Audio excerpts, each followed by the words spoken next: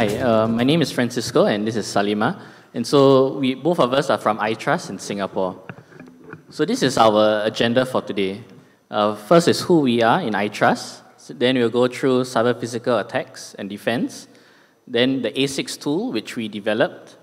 We'll do a video demo of this A6 tool. And finally, our findings and conclusions. So who are we uh, as iTrust? So iTrust is a center for research in cybersecurity, and we are part of the university, uh, Singapore University of Technology and Design. And we are mainly funded by the Singapore National Research Foundation. And so we have many university collaborators, uh, for example, BGU in Israel and the Imperial College in London.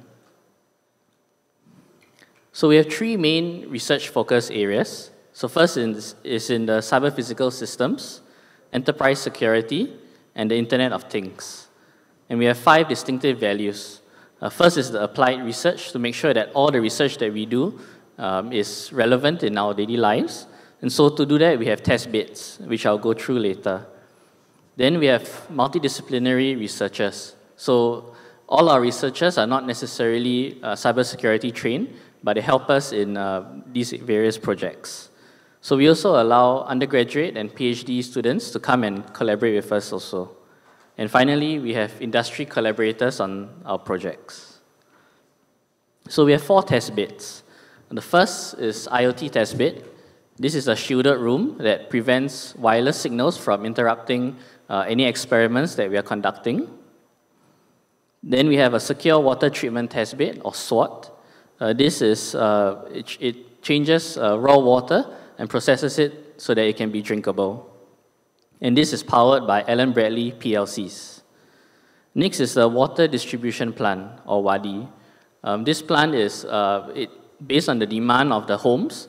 It provides a supply of water to these different tanks, and this is powered by National Instruments PLCs. And lastly is our electric power and intelligent control plant, or EPIC. This is a, basically a smart grid whereby you have a demand of the smart homes, and the smart grid will supply the whatever power that is necessary. And so with these four test beds, we are allowed to experiment on these things and to apply our research in those areas. And so last month, we had an event called Critical Infrastructure Security Showdown. And this was an event where we invited red teams from uh, Korea, from Italy, where they attacked our secure water treatment plant. And based on these attacks, we also invited some blue teams uh, to see how they fare against these attacks. And so one of the teams that came was Kaspersky, where we met Anton and his team. And so we hope for this event to be uh, annually, and so this is our third installment, and hopefully we have one next year. And so now I'll pass to Salimah to run through with you some uh, cyber physical attacks and defense mechanisms. As we all know, cyber physical attacks are different from cyber attacks as cyber physical attacks affects the physical process itself. So this is a list of few cyber physical attacks that has happened throughout the past. We all know about Stuxnet and the Ukraine power grid. This list is, I feel, is growing and there's a real need to address this threat. So attacks in cyber physical system or in ICS, industrial control system, can be as categorized as follows. A test could be either in static form or in dynamic form, in single point or in multi-point, and further categorized as single stage and multi-stage. So towards the end of the presentation, we'll do uh, two video demos where we will explain to you how these attack categories come into place. There are a few cyber physical defense mechanisms, and one of them is ADMs, known as anomaly detection mechanisms. ADMs, there are two types. There are design-based approaches and machine learning-based approaches.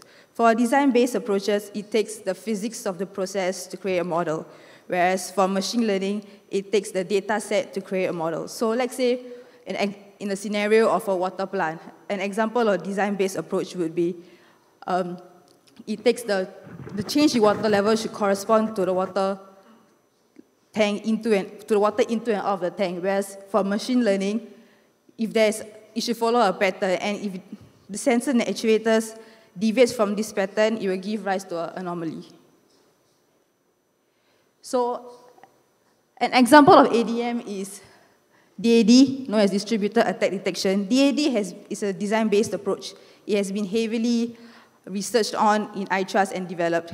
It uses invariants, which are obtained from plant design. So invariants are state constraints that the process must adhere to and it cannot be compromised. So from the table, there are a few attacks launched and we tested out how that fare against them. Out of 56 attacks, 45 were detected, which is about 80%. So Francisco can share with us why is there a need for an attack tool? So as discussed earlier, there are difference between there are a wide variety of attacks that could happen. For example, a simple attack could be a static, single stage, single point. And this attack should be uh, easily detected. Whereas a more complex attack, for example, a dynamic multi-stage, multi-point attack, could be a lot more difficult to detect. And so with the rise of cyber physical attacks, a lot more ADMs are being developed. And so we need to evaluate whether these ADMs are complete and they're robust so that uh, with the wide variety of attacks, we're able to test them. And so we, we developed this ASICS tool, and this ASICS tool is uh, developed on a secure water treatment plant. Yeah, so and I pass to Salimah to go through briefly of what the SWaT architecture is like. So SWaT, also known as Secure Water Treatment, which is one of our test bed in iTrust. So this is a network architecture. There are three levels to it. The first level, level three, we have the operation management, which consists of the SCADA workstation and the historian server. Followed by level two, which is the supervisory control, which consists of the engineering workstation. At level one, we have the plant control network. So in SWaT, we have six stages. So there are six primary PLCs which communicates within each other. And in level zero, which is the process layer, it consists of the RIO, or the remote input module, where it sends and receives signals from actuators and sensors. This is the overview of SWaT process. So SWaT is a miniature scale of an actual water treatment plant. So we have six stages as mentioned earlier on. The first stage is raw water, followed by pre-treatment. At the third stage, we have the ultrafiltration. Fourth, we have the dechlorination process. Fifth, we have reverse, reverse osmosis. And finally, we have the RO product. So now that you know more about the, briefly know about the SWaT architecture and the process, Francisco will tell you about the attack tool itself. So we have two attack tools. One is at L1 and L0. So the L1 is basically a device that is at level 1. And so the device sits between the two PLCs that are talking and sharing information with each other. So it's basically a man in the middle. And what this device can do is to mutate the packets flowing between these two PLCs. Next is the level 0 ASICS tool. And this tool sits between the PLC and the RIO.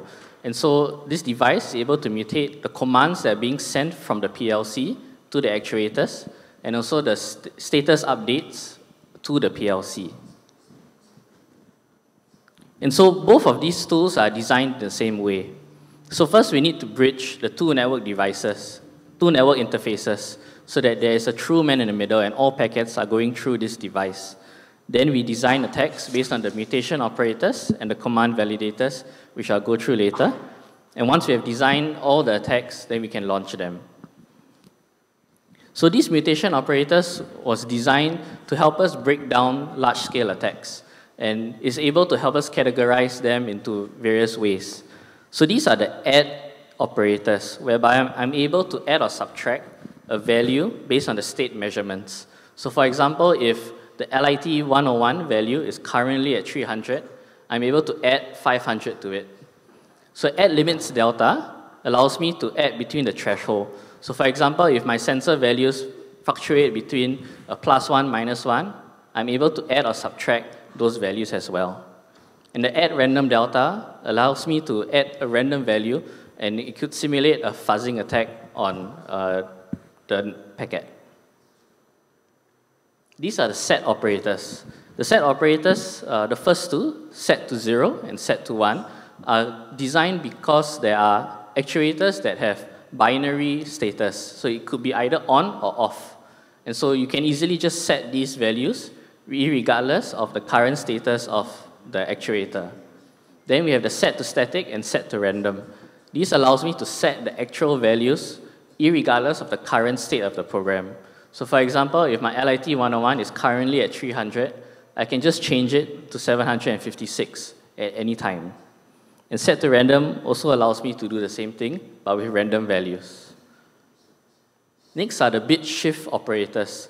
These bit shift operators are designed because naturally all network packets are translated into hexadecimals. And so if an attacker does not understand how the packets are being created and just switches the bits, it will create a different uh, packet combination. And so these bit shift operators allow me to simulate those kind of attacks. And so an example would be if I shift the bits by 4, I'm able to create a value from 300 to 5,900. Next are the command validators. So every actuator has a set of valid and invalid commands.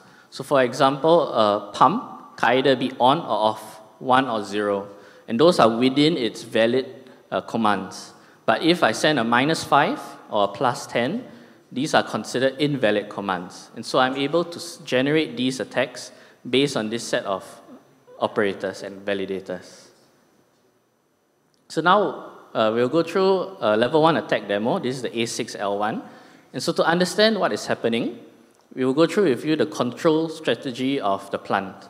And so at PLC 1, stage 1, the strategy is that if I receive uh, a LIT 301 from stage 3 to me, and if the value is less than 800, I will turn on the pump to refill it.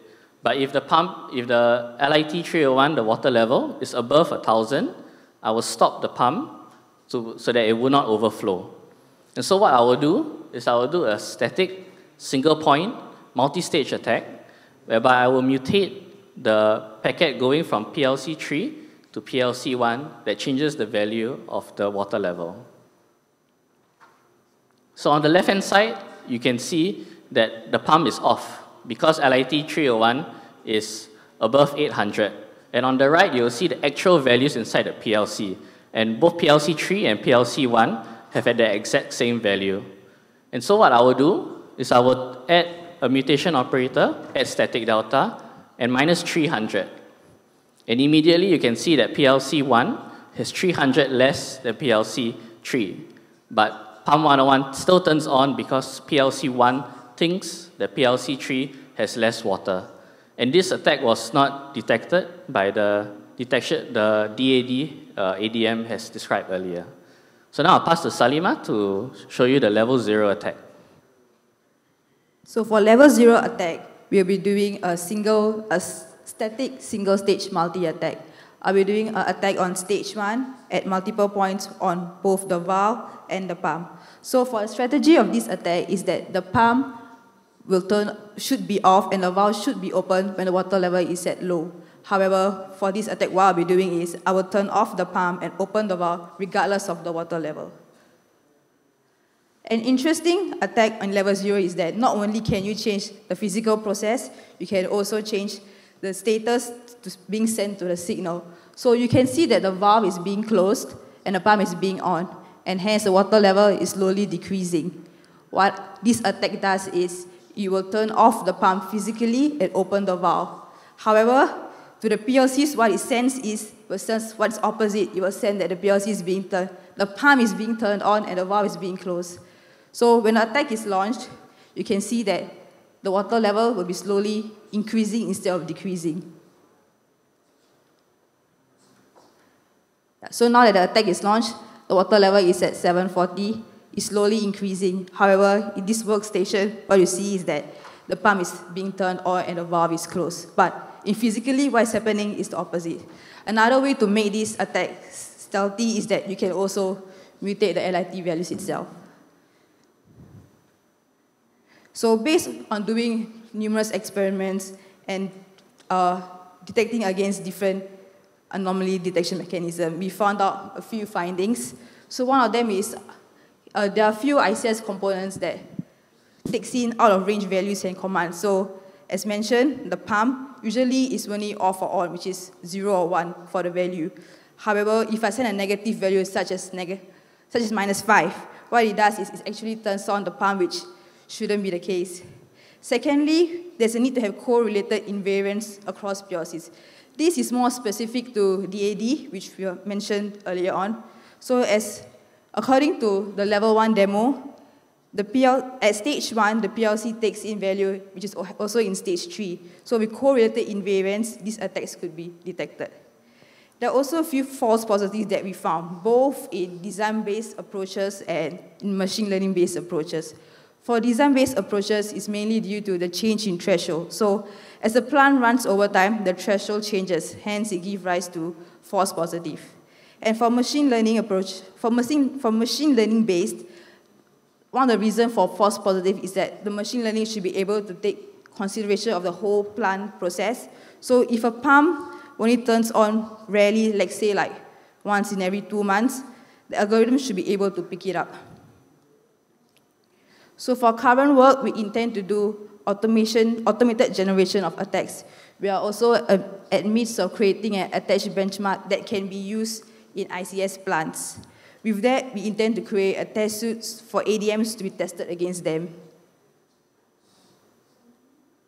We like to say our special thanks to Sridhar for his work in DADs, Gayatri for her work in mutation operators. Professor Neil and his team, uh, they initially did level zero attacks for man in the middle, and Professor Aditya for overseeing this whole project. So if you have any question, you can feel free to ask us after the presentation. Thank you.